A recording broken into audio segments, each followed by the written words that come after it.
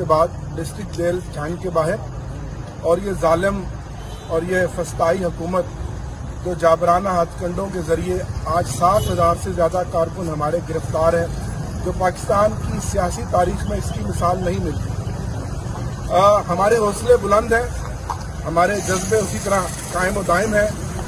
इमरान खान हमारी red line है और इस तरह की गिरफ्तारियाँ इस तरह की हथकंडे मुकदमात, दहशत गर्दी के मुकदमात हमारे इरादे कमज़ोर नहीं कर सकते, हमारे जज्बे कमज़ोर नहीं कर सकते। हम इमरान खान के साथ हैं।